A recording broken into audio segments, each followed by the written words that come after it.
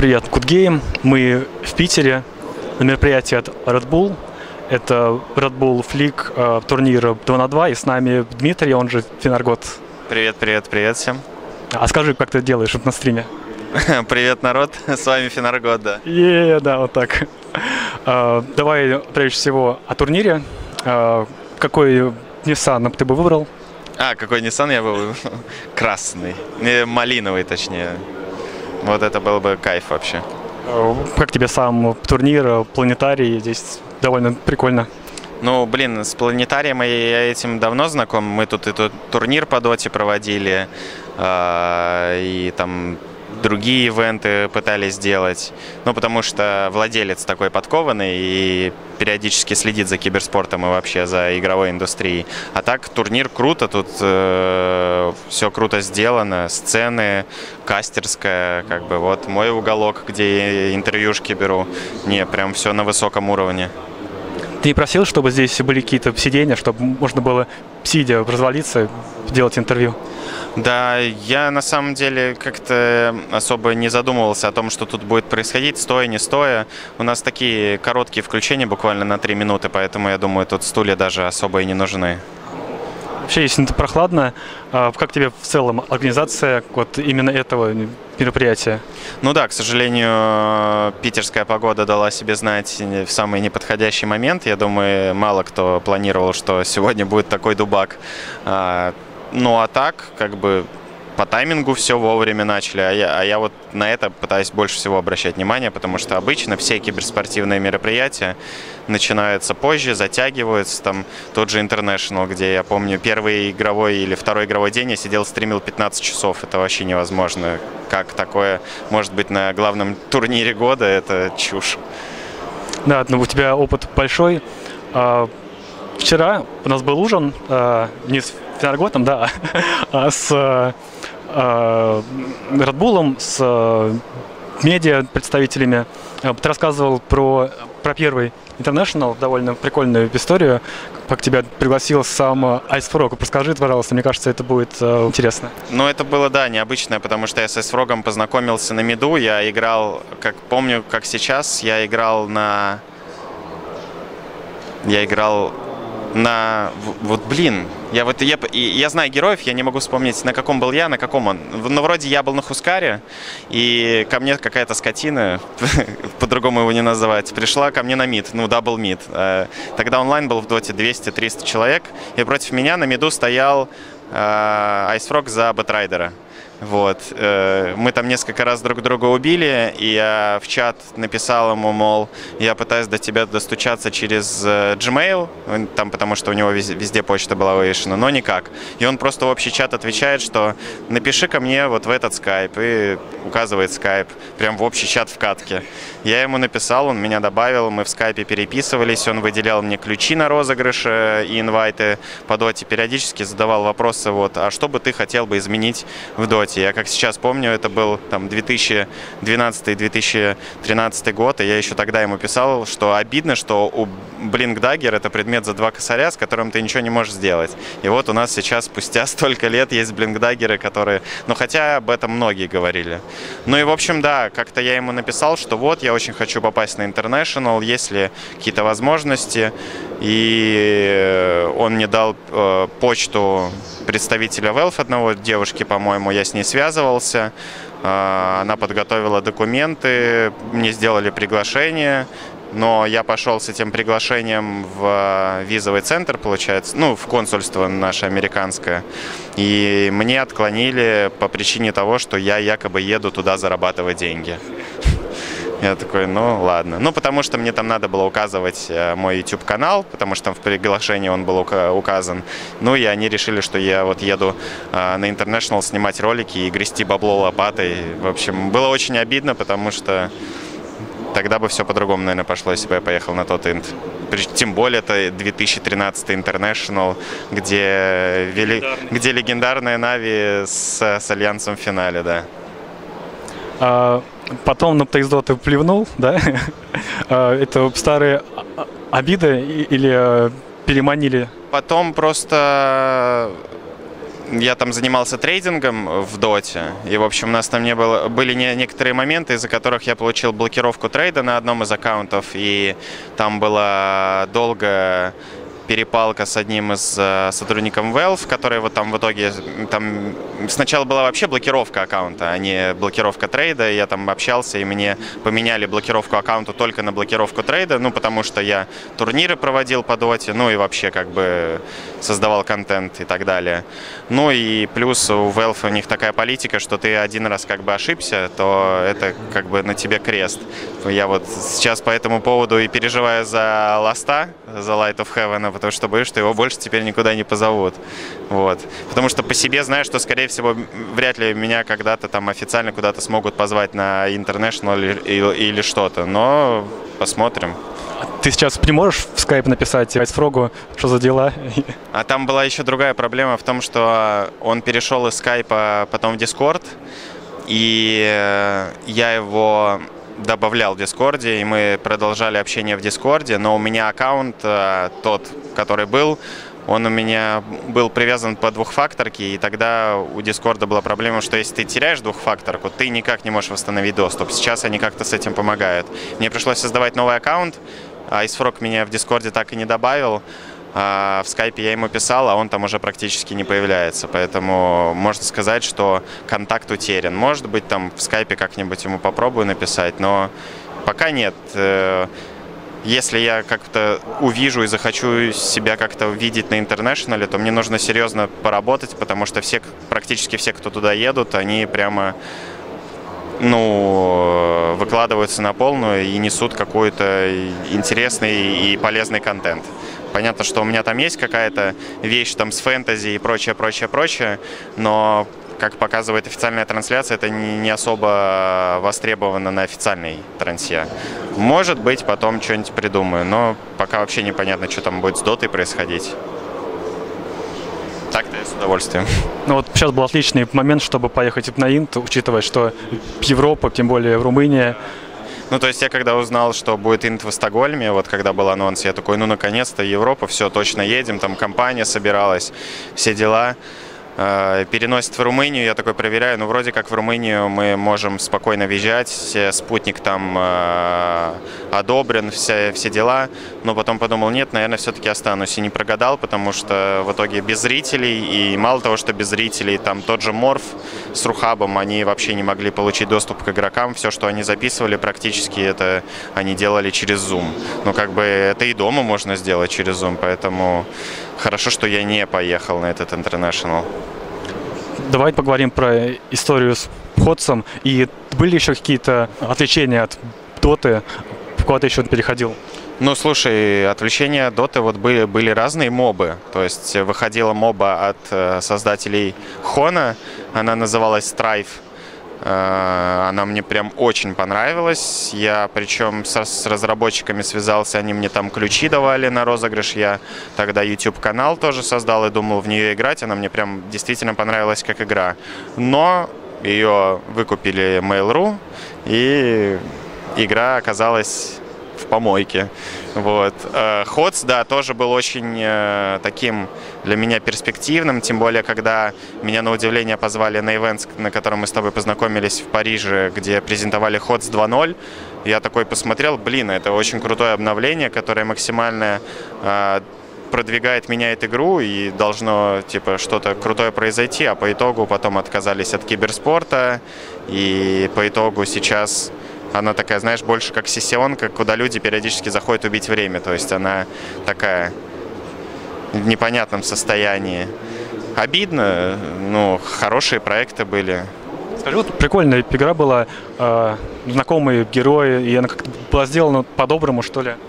Не, самое крутое, что там было, это большое количество режимов и максимально разноплановый и крутой геймплей. То есть у тебя могут быть персонажи, где ты стоишь на базе и управляешь там миньонами, там ну, то есть огромное количество разных э, идей, э, крутых э, механик и так далее, которых ты в других моба играх не, и не увидишь. Но, к сожалению, не зашло. Многие говорят, что э, зачем разработчики тратят большие деньги на киберспорт, да, вот, казалось бы. Вот вам пример, что вроде бы есть э, продукт, да, но киберспорт закрыли, и сама игра, считаю, протухла. Что ты думаешь про вот эту ситуацию, что для каждого проекта, который хочет выйти на какой-то уровень, нужен какой-то соревновательный режим? Ну, видишь, э, Valve молодцы, они заняли нишу самых таких дорогих киберспортивных турниров и таких самых серьезных потому что ловко придумали с боевым пропуском, где 25% идет в призовой фонд. Каждый год бьют рекорды, э, каждый год появляются новости в СМИ о том, что там какие-то безнословные деньги разыгрываются. Это привлекает э, внимание э, людей, не связанных вообще с играми, те, кто связаны как-то с играми из доты, они понимают, блин, а можно запотеть, мало ли будет шанс да, как минимум поехать на турнир. То есть если ты уже едешь на International, ты уже получаешь не, неплохие бабки. Поэтому это как-то прививает у тебя чувство и желание играть, желание делать результат и выкладываться на полную. Я считаю, что такое, такого не хватает многим играм. И, ну, Blizzard, они, они, кстати, могли спокойно пойти по пути э, Valve и сделать нечто подобное. Ну и плюс огромный у Dota еще состоит в том, что есть торговая площадка, и вот этот факт обмена скинами, предметами, перепродажи. То есть люди, многие играют в Доту просто потому, что они там деньги зарабатывают э, благодаря перепродаже шмоток. Что в Доте, что в Контре это происходит. Я считаю, что вот этого тоже не хватило э, там Хацу или могло, может не хватать сейчас условному Хардстоуну. Вроде как Hearthstone, да, на коне и э, до сих пор самая э, играбельная картонка. Но если бы Valve с артефактом не обосрались, я считаю, что могли бы тоже бы спокойно бы к себе огромную часть аудитории переманить, как минимум проведя вот этот турнир с призовым в 1 миллион долларов. Почему нет? Или 10, а лучше 50, чтобы переплюнуть? Э... Ну, я максимально был настроен. То есть я когда узнал, что будет турнир на 1 миллион долларов, и тем более, что это игра, где решает больше не рандом, а именно э, интеллект, и я люблю всякие такие вещи, там, я там настольные игры играю и так далее, я прям был заряжен максимально, чтобы поучаствовать и попробовать свои силы. А по итогу вот что получил. Хотя я играл в свое время в Харстоун, но я опять же оттуда ушел момент, когда я понял, что когда ты выкапываешь какую-то карту и там вот этот рандом какой-то супер э, жесткий, я такой, не-не-не. Я с моим везением я знаю, что рандом это не моя тема. Да, всем помним, как Павел победил на Близконе эти матчи с американцем, эти, да, веселые моменты. А, ты сказал про настолки. Вчера, опять же, за ужином, за бутылочкой кваса, ты рассказывал, что ездил на какой-то чемпионат по колонизации. Про это расскажи. Это колонизация, я так помню, это игра, где нужно ячейки захватывать, да, и их э, обживать, скажем так. Да, колонизаторы или катан, э, немецкая игра, старая, там суть в том, что есть поле из гексов, там на их пересечении ставятся поселения в начале, на этих гексах раскладываются цифры. То есть, по сути, всегда игра будет каждая уникальная, потому что э, огромное количество вариантов. Цифры там расставляются в определенном порядке. Ну, в зависимости от э, того, какое число выпадает на кубиках, ближе, близлежащий гекс тебе дает вот ресурсы. И ты за эти ресурсы дальше строишь города, дороги, ну и набираешь очки, когда там 10 штук не наберешь. Я просто начал в нее играть, э, когда в мафию играл в Питере. Мне э, знакомый, ну сейчас друг тогда мне ее показал. Мы сыграли, начали в нее играть, потом начали играть в нее на деньги, ну, потому что у меня друг лудоман. А, и в какой-то момент, я помню, проходил чемпионат, эм, ну, вот, мира, или, а, не, чемпионат Европы был. У них такая тема, что раз в два года чемпионат мира и раз в два года чемпионат Европы. То есть э, чередуется. И он такой, давай поучаствуем. А я тогда уезжал, и я не смог поехать на отборочные. Э, там были во всех городах. У меня друг не смог в Питере отобраться, он поехал, по-моему, в Тверь, и там тоже не смог отобраться. А в следующем году отборы на чемпионат мира были только в Москве. Но для всех желающих, открытые. И мы просто поехали с ним, там было 120 участников, мы заняли первые два места и вот поехали в Кёльн на чемпионат мира. Там как выступили? Не очень хорошо, все-таки, когда есть кубики, есть э, вероятность того, что что-то не получится. В первой игре мне просто не повезло, потому что я ее побеждал на дистанции, но э, парень э, турок, который играл, ему повезло вытащить карту победную. Вот. Э, дальше там вот число 10 у меня не падало. Ну и вот одну игру я выиграл из четырех, э, причем там со мной играл э, чувак, который играл в финале потом. Но он там, я вперед ногами вынес вообще без каких-либо шансов. Но, к сожалению, так. Посмотрим, может быть, в будущем еще раз попробуем себя. Есть ты планируешь тренироваться в эту игру? Ну, пока из-за пандемии я до сих пор действующий чемпион, потому что больше не проходили чемпионаты. Я хочу, да, заряжен. Кто бы знал, на самом деле, что кто перед нами чемпион э, в России, да? Ну да, получается так. А что ты еще скрываешь от э, публики? Какие-то еще есть э, тайные хобби? Да. Коты, может быть? Коты? Ну, у меня есть кот, да, я обожаю своего кота. А так, э, да нет, наверное, ничего больше нет. Кино люблю и все. Но это Какое? Не знают. Да, любое. Я пытаюсь смотреть то, что интересно мне в какой-то момент. А, так как мы здесь на турнире от Bull, и они э, в спонсоры Team Spirit, давай немного поговорим вот про это. А, вот эта победа, как ты думаешь, она скажется на развитии э, доты и вообще киберспорта в СНГ у нас? Я думаю, она максимально положительно должна сказаться по нескольким причинам. Ну, во-первых, мы выиграли, и на нас должны обратить внимание Valve. Во-вторых, за счет того, что мы как минимум прошли финал, э, СНГ-трансляции побили рекорд э, англоязычный. И то есть это опять же должно привлечь внимание разработчиков и показать, что в СНГ э, сегменте данную игру смотрят больше, чем другие. И э, я считаю, что International следующий должны проводить в СНГ. Неважно, где там это будет Беларусь, Украина или Россия. Я считаю, что типа если в Питере, то Газпром-арена идеальное вообще место. Там в Москве какая-нибудь ЦСКА и так далее. В Минске тоже есть, и в Киеве есть места. Нужно двигать. Э, понятно, что появятся те, кто хотят просто залететь в поезд хайпа и нажиться на этом.